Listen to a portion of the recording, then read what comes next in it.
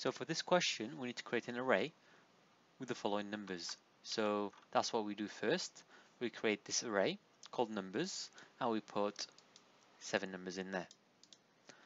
Then it says ask the user to guess a number. So what we do here is we ask the user to guess a number using an int and then input. So int is an integer because it's going to be a whole number and then input to ask the question.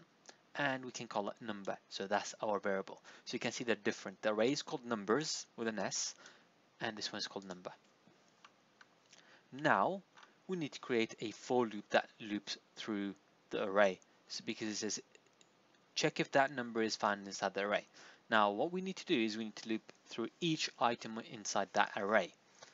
Now there's two ways of doing it. This is just one of the ways.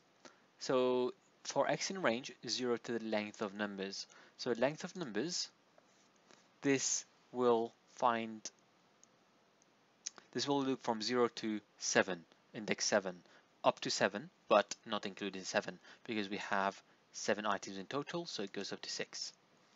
Once we've done that, we need to create an if statement. So we need to check if the number, which is the user's choice, is equal to number x. So x is going to be in counter. Numbers, and then in the bracket we put x. x will start with 0, so it will check if 2 is equal to number. Then x will increment by 1 to 1. Index 1 is 3. It will compare 3 with number, then it will compare 4 with number, and so on, up to 90. It will compare 90 with number. Now, if that's the case, if any of them is equal to that number, then we just display found by printing found.